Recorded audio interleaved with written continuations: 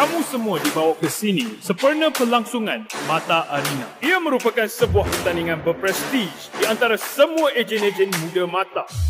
Tapi hanya seorang pemenang. Jangan harap orang kepia akan menang.